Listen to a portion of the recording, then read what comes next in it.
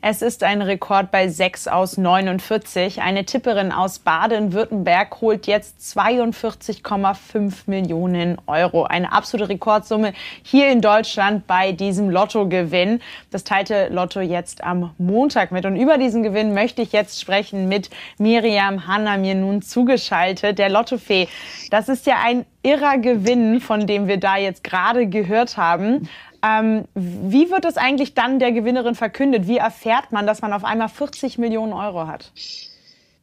Also das kommt natürlich darauf an, wie man äh, gespielt hatte überhaupt. Also ähm, nehmen wir mal an, man möchte einfach einen Einkauf machen, geht in eine Lottoannahmestelle und äh, gibt seinen Schein ab. Und dann bekommt man gesagt, in Baden-Württemberg ist das so, ähm, ja, Ihr Gewinn ist über 1000 Euro, melden Sie sich doch bitte mal bei der Zentrale.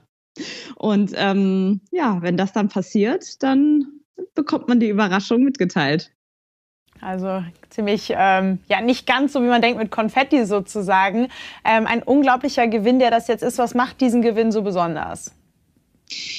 Naja, ich würde sagen, allein die Zahl, ähm, das ist der, der absolute Höchstgewinn seit äh, sehr vieler Zeit. Jetzt neu bei Lotto kann man ja, wird der Jackpot ja hochgeschossen bis auf 45 Millionen und ähm, derjenige, der da gewonnen hat, äh, ist knapp drunter. Also es ist wirklich was ganz Besonderes und natürlich, was macht derjenige, diejenige damit?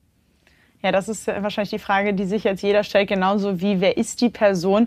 Wie ist das in der Vergangenheit? Meistens bleiben die Leute dann anonym oder will man sich dafür feiern lassen, dass man jetzt auf einmal zu so viel Geld gekommen ist? Das ist natürlich individuell, äh, wie auch die Beratung ähm, individuell stattfinden wird.